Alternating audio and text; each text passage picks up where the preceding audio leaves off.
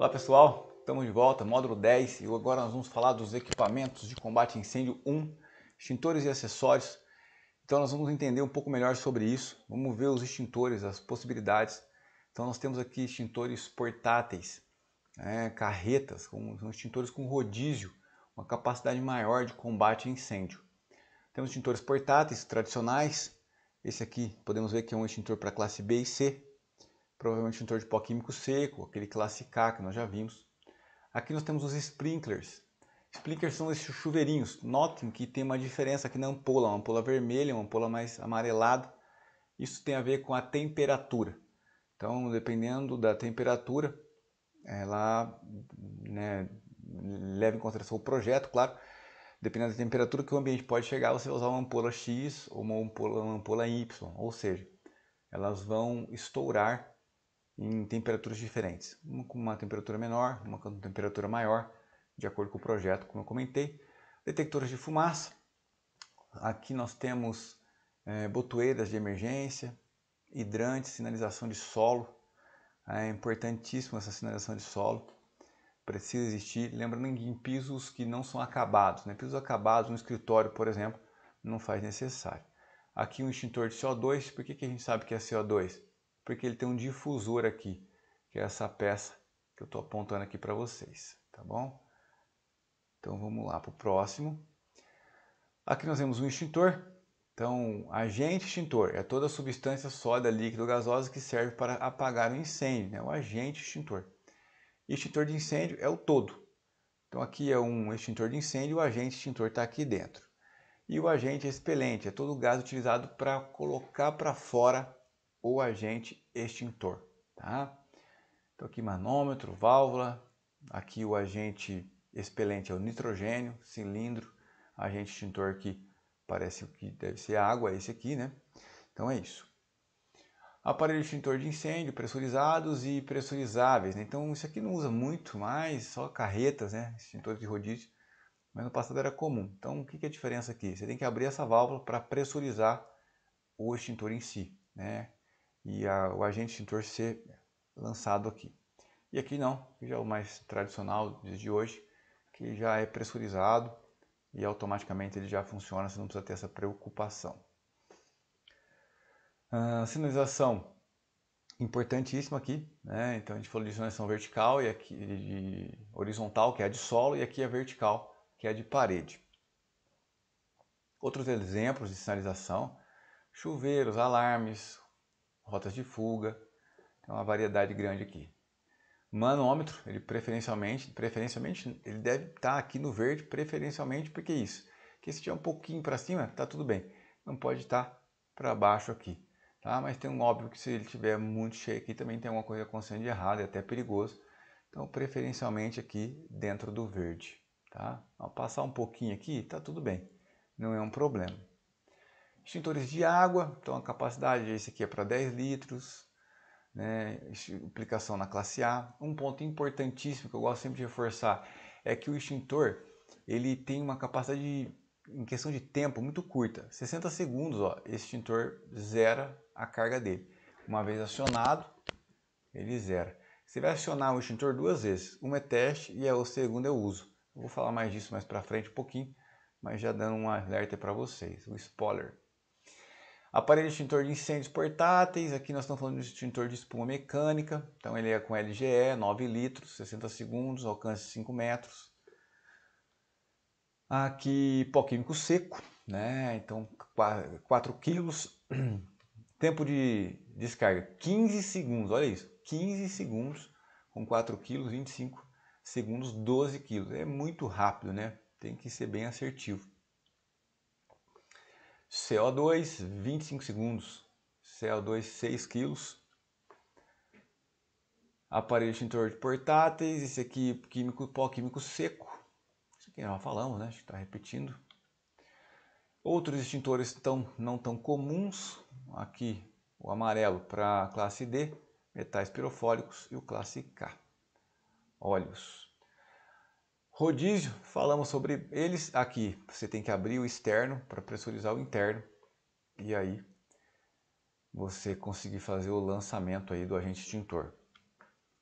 Capacidade extintor, importante, 10 litros, capacidade extintora 2A. O que é esse 2A? Isso aqui gera bastante confusão também. Vamos esclarecer isso, agora, nesse módulo. Inspeção e manutenção, então selo em conformidade, falando de inspeção, lacre, conservação, pressão, etiqueta. Uma vez por mês você deve passar pelos extintores. Você ou alguém na empresa precisa passar pelos extintores e se certificar que ele está ok, que ele está inspecionado, né? o lacre não está rompido, o manômetro está em ordem e tudo mais. Em locais que não se faz isso, às vezes você tem até bicho fazendo ninho, não sei qual seria o termo correto, nos, no, na mangueira do, do, extintor, tem que ter uma, um cuidado com o equipamento. Aqui nós temos um selo de conformidade do Imetro, então o extintor novo ele é assim, e o extintor recarregado ele tem aqui os meses para indicar quando foi feito essa recarga. Aqui você tem o detalhamento das informações, muito interessante isso aqui, poucas pessoas sabem dessas informações. Então, fundo modulado em linha, né, para garantir que é a vericidade, que é o selo original, holograma, ó, uma série de detalhezinhos, tá vendo? Olha que interessante. E aqui a data de validade, né? Mês de realização do serviço. Se você olhou esse mês, olhou esse ano, daqui a um ano você deve refazer novamente a recarga dele. Extintores uma vez por ano você recarrega, independente se você usou ou não. Cronograma de cores, então existe um lacre, na verdade não é um lacre, né? um anel aqui, ó. o lacre é esse. Esse aqui é um anel para indicar que realmente a empresa fez a manutenção correta, ela abriu todo o equipamento e trocou esse anel. Então aqui você vê as cores, ó, amarelo 2012 até 2018 é o púrpura. E aqui os atuais, ó, 2019 até 2025. Nós estamos no 2021, é o branco. Então você pode encontrar ó, atualmente o verde ou o branco. É, esse seria o que você vai encontrar. Se ele foi feita a manutenção de julho para frente, nós estamos em julho. Então você vai encontrar o verde, né, julho do ano passado. E agora você vai começar a colocar o branco. Muito bom. Aqui falando né, é dessa questão da capacidade, vou esclarecer isso para vocês. Então aqui está a capacidade, um 2A. O que é um 2A? O que é um 2A? Aqui no caso espuma, aqui água. 2B, classe B, 2B. Pó, 2, é, 20BC. Vamos entender um pouco melhor que é isso? Vamos lá. É aqui, ó. 1A. Esses elementos aqui. Se refere a essa área. Então 45 por 45 por 500 milímetros. Tá? Então sempre assim, ó, 4A, uma área bem maior, está aqui. Capacidade extintora, XA é o tamanho do fogo, classe A. Aqui nós vemos o B, falando agora aqui já da altura, né? então um pouco diferente. Capacidade extintora XB é o tamanho do fogo. Classe B, lembra o que é o classe B? Estamos falando de líquidos. Gases também, né? Entra aqui. Muito legal isso aqui também, né? Uma informação que geralmente o pessoal não sabe, o que é essa informação que está no extintor. Aqui bem detalhado, se você quiser dar um pause aqui também para você olhar isso com calma. Eu vou novamente reforçar essa questão do tempo aqui, ó, tempo de descarga muito rápido, 8 segundos, 10 segundos. Então precisa estar bem treinado e eu quero falar sobre isso com você hoje ainda, nesse módulo aqui. A inspeção, Atenção, observe o tempo médio de descarga, né? eu já vim reforçando esse, esse ponto com vocês. A inspeção do aparelho extintor, né? então semanal, verificar o acesso, mensal, semestral e anual. Semestral, verificar o peso do extintor.